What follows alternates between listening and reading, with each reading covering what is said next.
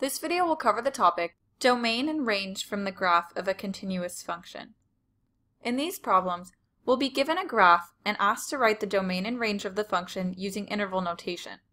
Domain and range sounds familiar, but can we go over what those mean really quick? The domain is the set of all numbers that appear as x-coordinates of points on the graph. And the range is the set of all the numbers that appear as y-coordinates of points on the graph. And what about interval notation?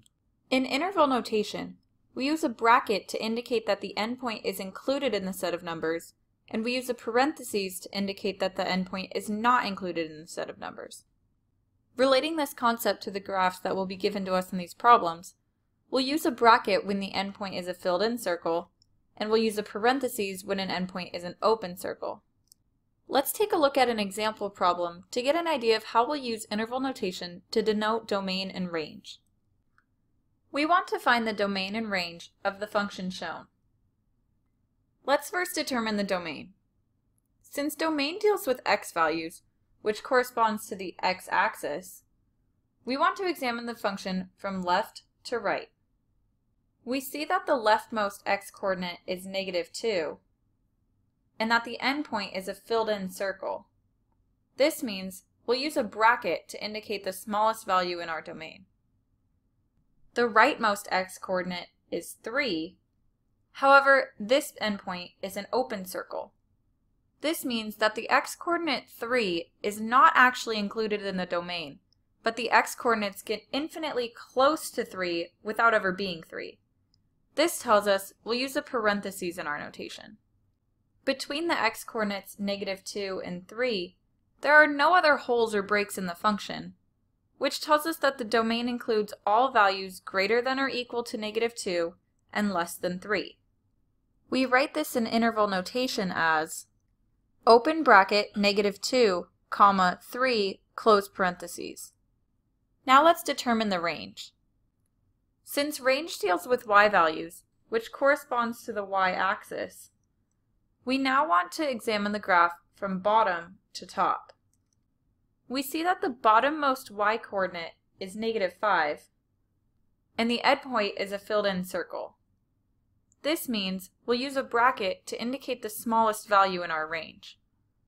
The topmost y-coordinate is 4, however, this endpoint is an open circle. This means that the y-coordinate 4 is not actually included in the range but the y-coordinates get infinitely close to 4 without ever being 4. This tells us we'll use a parentheses in our notation.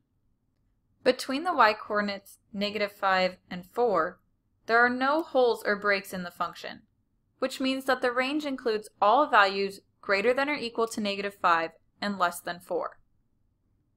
We write this in interval notation as open bracket negative 5 comma 4 close parentheses. Let's take a look at another example. How do you think we should go about finding the domain and range of this function? If we start with the domain, we need to look at the x values included in the function.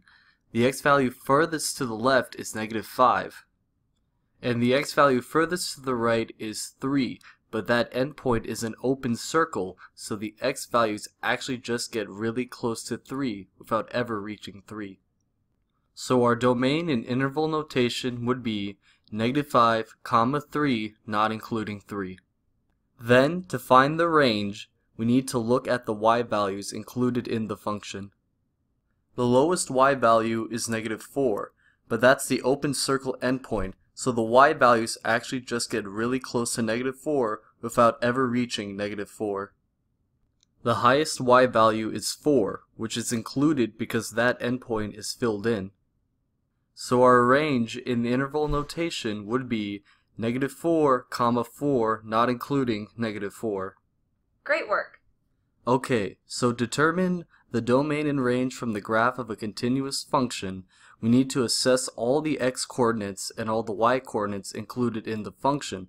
When writing domain and range in interval notation, we use a bracket to indicate that an endpoint is included in the set of numbers, and we use a parenthesis to indicate that an endpoint is not included in the set of numbers.